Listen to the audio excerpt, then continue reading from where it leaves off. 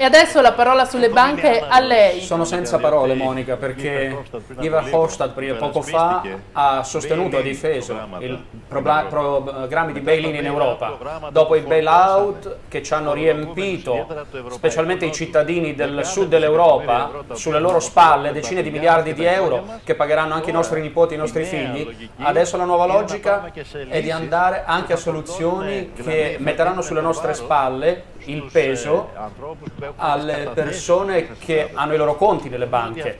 Penso che questa sia una logica distruttiva per l'Europa e vorrei domandare se questa logica eh, su questa logica è d'accordo anche il signor Juncker e il signor Schulz. La nostra opinione è che ci deve essere una eh, possibilità complessiva di diminuire il debito che permetterà anche alle banche di poter andare avanti attraverso una diminuzione delle, dei prestiti in rosso che hanno. e così sì, se no ci saranno debiti sui vecchi debiti.